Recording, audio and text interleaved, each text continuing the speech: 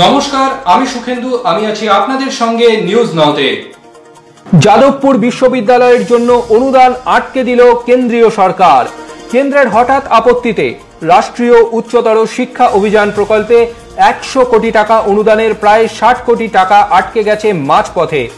এই প্রকল্পে কেন্দ্র ও রাজ্য মিলে ষাট বাই চল্লিশ অনুপাতে অনুদান দেয় বিশ্ববিদ্যালয়গুলিকে। কিন্তু কেন্দ্র টাকা না মেটালে রাজ্য বাকিটা দিতে পারবে না। প্রথম কিস্তির একচল্লিশ দশমিক ছয় সাত কোটি টাকার মধ্যে কেন্দ্র দিয়েছে পঁচিশ কোটি ও রাজ্য দিয়েছে ষোলো দশমিক ছয় সাত কোটি। এরপর কেন্দ্র থেকে আর পাঠানো হয়নি অনুদানের টাকা।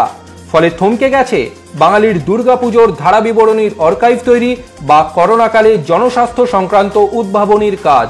শিল্প বাণিজ্য ক্ষেত্র, যাদবপুরের সংযোগের জন্য ইনকিউবেশন সেন্টার এবং টেগোর কালচারাল কমপ্লেক্স উন্নয়নের পরিকল্পনাও থমকে গেছে।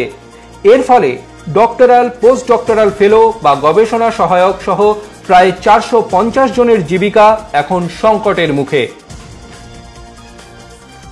রাজনীতির সঙ্গে আরও বিভিন্ন গুরুত্বপূর্ণ খবরের চোখ রাখতে সঙ্গে থাকুন নিউজ নামে